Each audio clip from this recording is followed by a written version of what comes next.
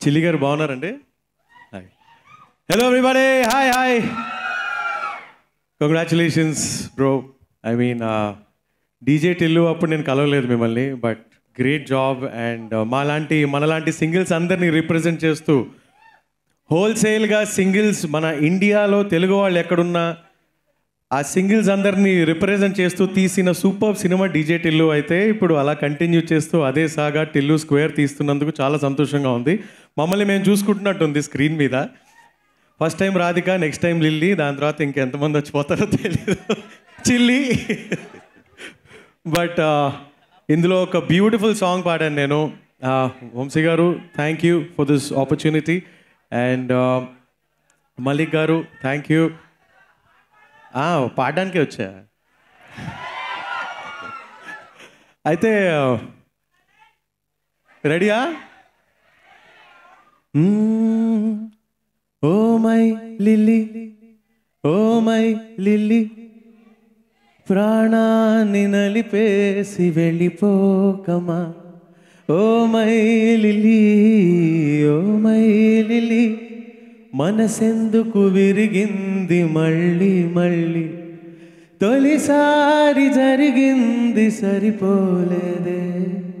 ఈసారి జరిగింది తెలియనిలేదే. ఆగే తల్లి ఏంది లొల్లి? జరగాలి టిల్లుకి మళ్ళీ మళ్ళీ. ఏయమ్మో ఓయమ్మో దీనమ్మ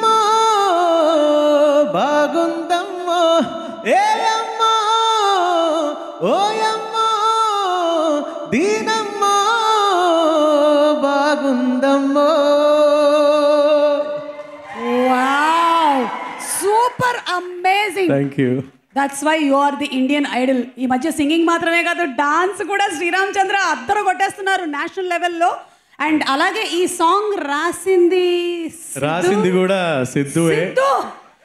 So oh my god and Ravi Antony ఇద్దరు కలిసి రాసినటువంటి సాంగ్ ఇది. సింప్లీ సూపర్ కదా?